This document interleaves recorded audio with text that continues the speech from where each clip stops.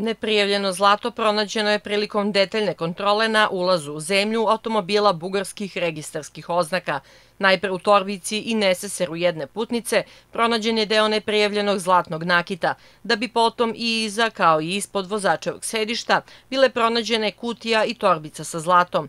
Vrednost preko 30 narukvica, ogralica, minđuša i prstenja, ukupne težine nešto više od 350 grama, procenjena je na preko 800.000 dinara. U drugom slučaju koji se desio istog dana prilikom kontrole kamiona pančevačke registracije koji je iz Turske prevozio tekstilnu robu za uvoznika u Beogradu, pronađeno je 40 ženskih i muških parfema poznatih robnih marki.